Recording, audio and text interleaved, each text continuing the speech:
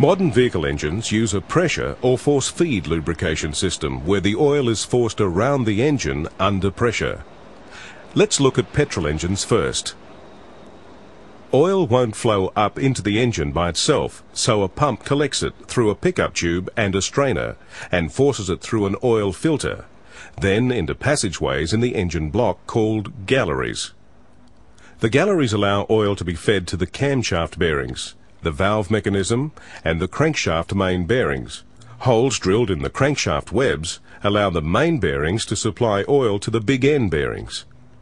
After circulating through the engine, the oil falls back to the sump to cool. This is called a wet sump lubrication system because the oil is kept in the sump ready for the next time it's used. Some special engines use a dry sump lubrication system. It uses all of the parts that make up a wet sump system and it lubricates the engine in the same way. It differs from the wet sump system in the way the oil circulates. In a dry sump system, the oil falls to the bottom of the engine into an oil collection pan. A scavenge pump then pumps it to an oil tank where it is stored until the normal oil pump collects it and pumps it through the filter and engine in the normal way. Because there is no oil storage sump under the engine, the engine can be mounted much lower than in a wet sump system. The oil tank can be positioned away from the engine where it can get best cooling.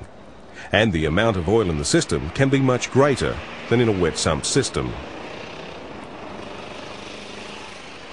Diesel engines are lubricated in much the same way as petrol engines, but there are differences.